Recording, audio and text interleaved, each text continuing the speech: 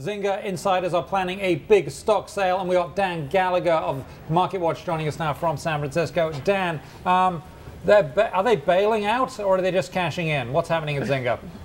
Uh, I think they're taking a little money off the table, arguably with the stock run. It's not a big cash out. Uh, you know, they filed for a secondary offering last week, and today they filed some details in terms of how many shares and who's going to sell. So not surprisingly, uh, a lot of the VC firms and several of the top executives are participating in that.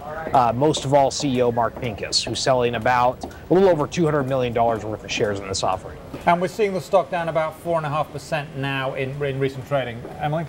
What does that do for his um, ownership stake in the company and his voting share, his power?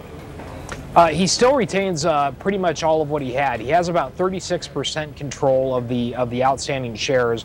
That doesn't really change much after this offering because most of what he has are these special class of shares that have a lot of votes. So what he's cashing out here is about 18% of his Class B shares. Uh, so he still retains a lot of his holdings, as do a lot of the insiders there. So that's why this doesn't look like today like a big exit from the stock.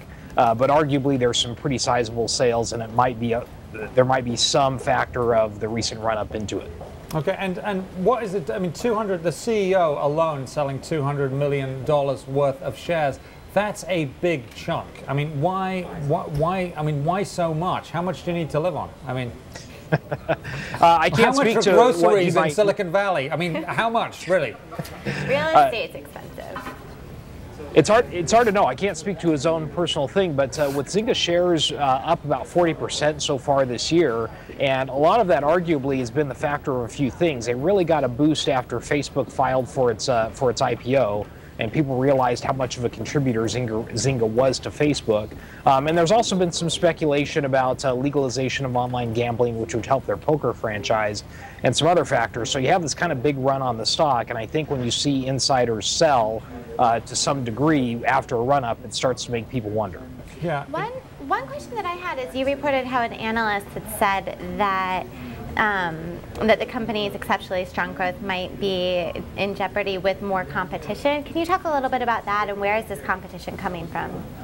Well, it's coming from a lot of places because uh, for a lot of video game makers, they see the social platform, especially Facebook, as as one potential area for some lucrative growth. Now, right now, Zynga has not been under a huge amount of threat because it has the most players by far of any game maker on Facebook when you look at some data that measures that. But you have big game makers like Electronic Arts that are really pushing hard to get into the space, and they've had some success with it, um, and some other game publishers as well. So you have uh, essentially you have what looks like a lucrative market. A lot of people want into it, and since a lot of these games tend to churn over users pretty quickly, um, there's some worry that even if you have a really hot property today, it might not be hot tomorrow. Yeah, and that's it, isn't it, Dan? It's the, it's the hit-driven nature of this business that makes it a bit risky, a bit like the movie business. Um, anyway, we have to leave it there. Dan Gallagher with Market Watch out in San Francisco.